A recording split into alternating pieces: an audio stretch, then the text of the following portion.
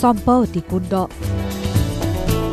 নগাঁও কাৰ্বি আংলং সীমান্তৱৰ্তী চাপানালাৰ ইতিহাস প্ৰসিদ্ধ পৰ্যটন ক্ষেত্ৰ চম্পাৱতী কুণ্ড। য'ত প্ৰতি বছৰে বিভিন্ন সময়ত ভিৰ কৰে পৰ্যটকে। নগাঁও চহৰৰ পৰা প্ৰায় আঠাইছ কিলোমিটাৰ আঁতৰত চম্পাৱতী জলপ্ৰপাত। অসমৰ ভিতৰতে সবাতোকৈ বিশাল এই জলপ্ৰপাত। চম্পাৱতী কুণ্ডৰ পৰা দেখা পোৱা যায় চম্পাৱতীৰ নান্দনিক পৰিৱেশ। প্ৰকৃতিৰ মনোমোহা সৃষ্টিৰ উপভোগ কৰিব পাৰি চম্পাৱতী কুণ্ডৰ পৰাই। চম্পাৱতী কুণ্ডই প্ৰতি বছৰেই আকৰ্ষণ কৰি আহিছে বনভোজকাৰী দলসমূহক। কিন্তু বনভোজ খোৱাৰ পাছত চম্পাৱতী কদৰ্যময় হৈ পৰে।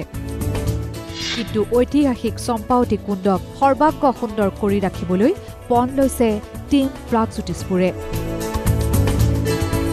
প্ৰায় চল্লিছগৰাকীকৈ মহিলাৰ সহযোগত গঠন হৈছে টীম প্ৰাগজ্যোতিষপুৰ।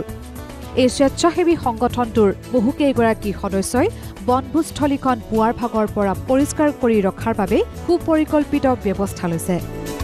সামাজিক মাধ্যমত টীম প্ৰাগজ্যোতিষপুৰে ক্লীন চাপানালা নামেৰে এক বিশেষ অভিযানো আৰম্ভ কৰিছে। অসমৰ বিভিন্ন চুকে কোণৰ পৰা ইয়াত মানুহ আহে তো আমি স্পেচিয়েলি নৱ নগাঁওবাসীক আহ্বান জনাম যাতে এই অঞ্চলটো এই জেগাটো চাফা চুফা কৰি ৰখাত আমাক সহায় সহযোগিতা কৰে। আৰু আমি তাৰ বাবে এটা ছ'চিয়েল মিডিয়াত হেছটেগ আৰম্ভ কৰিছোঁ হেছটেগ ক্লীন চাপানলা।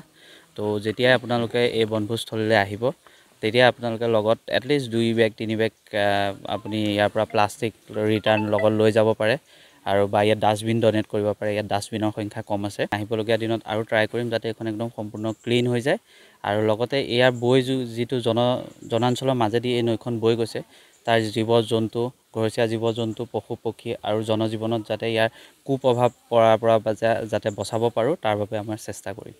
আগন্তুক দিনবোৰত পৰ্যটন ক্ষেত্ৰখনলৈ আহিবলগীয়া বনভোজকাৰী দল তথা পৰ্যটকসকলে যাতে বিনা অসুবিধাৰেই চম্পাৱতীৰ নান্দনিক পৰিৱেশ উপভোগ কৰিব পাৰে ইয়াৰ বাবেই টীম প্ৰাগজ্যোতিষপুৰে আৰম্ভ কৰিছে জনজাগৰণৰ। চাপানালাৰ পৰা শ্যামেন্দ্ৰ বৈৰাগী নিউজ লাইভ।